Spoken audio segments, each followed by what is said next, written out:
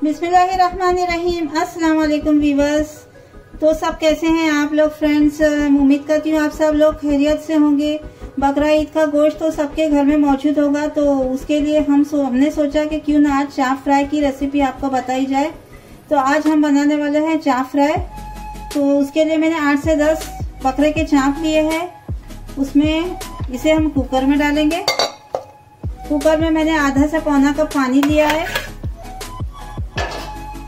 साथ ही इसमें डालेंगे जिंजर और गार्लिक की पेस्ट टू टेबल स्पून और धनिया पाउडर वन टेबल स्पून हल्दी पाउडर हाफ़ टी स्पून ये साथ ही हमारे यहाँ भिवंडी का स्पेशल सीख मसाला मिलता है। तो हम एक टीस्पून इसमें ऐड करेंगे। ये काफ़ी तीखा होता है, इसलिए हम इसमें ज़्यादा ऐड नहीं करते। और इसमें साथ में पपीते का पेस्ट होता है, जो राइस करने टेंडर करने के लिए मटन को काफ़ी अच्छा रहता है। तो इसमें हम इसको ऐड करेंगे। साथ ही हम इसमें डालेंगे थोड़ा सा गरम मसाला पाउडर। ये वन फोर्थ टी स्पून मैंने ऐड किया है। सीरा पाउडर ऐड करेंगे।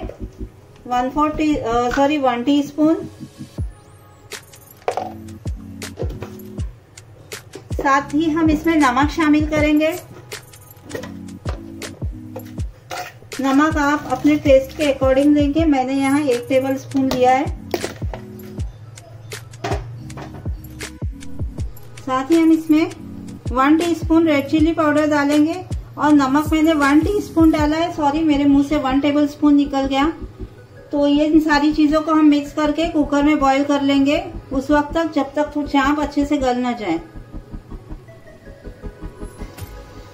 चाप मसाले और पानी हम अच्छी तरह से मिला लेंगे ताकि चाप पर मसाले अच्छे से लग जाए। बस इसको अगर आपके जो चा, ये चाप है गोश्त है कौला है तो उसको ज़्यादा सीटी लेने की ज़रूरत नहीं है। आप अपने हिसाब से इसको सीटी लें।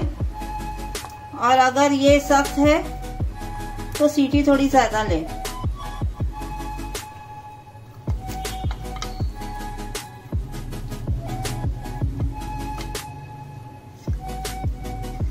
ये सारे मसाले अच्छे से चाप पर लग गए हैं। अब हम इसे बंद करके, प्रेशर कुकर को बंद करके गैस पर चढ़ा देंगे। चाप मैंने कुकर से निकाल लिया है। ये अच्छी तरह पक गए हैं। अब हम इसे फ्राई करेंगे।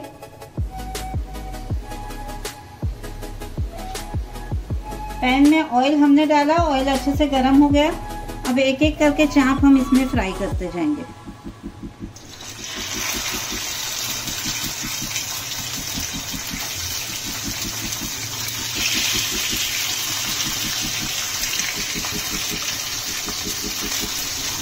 चाप जब एक तरफ़ से गोल्डन ब्राउन हो जाएँगे, तब हम इसे पलट कर दूसरी तरफ़ से भी गोल्डन कर लेंगे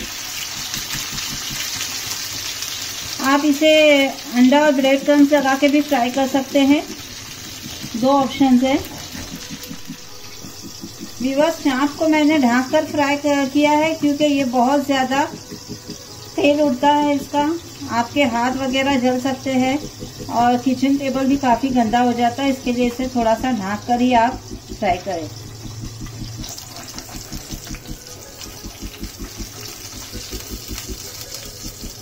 पलट लेंगे। देखिए कितना फाइन सा कलर आया है।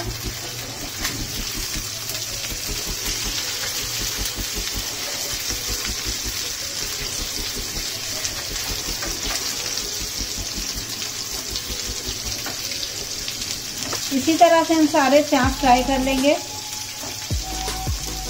हमारे चाप फ्राई तैयार है।